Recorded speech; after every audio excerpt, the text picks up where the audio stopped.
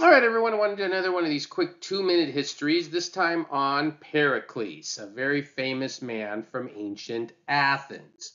Uh, so here you see again an image of him. He lived between 495 roughly and 429 BC. Uh, Athens, of course, you know, this key city-state in the Greek world.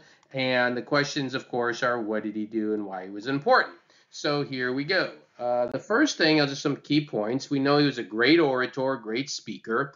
And what he does is take Athens and brings it into what we call the golden age of Athens.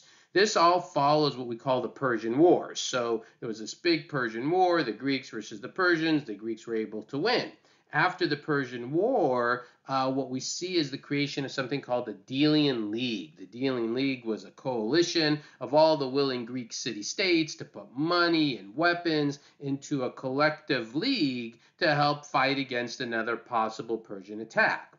What Pericles is going to do is use his influence to take a lot of that money from the Delian League and build up Athens, hence becoming the golden age of Athens. Uh, builds up, you know, military, long walls, uh, most famously this image of the Parthenon, uh, now, in the process of creating this golden age, he also alienates a few people, and eventually this help leads to what we call the Peloponnesian War, the war between the Greeks and the Greeks, specifically the Spartans and the Athenians, which eventually really brings down Athens quite, quite a bit.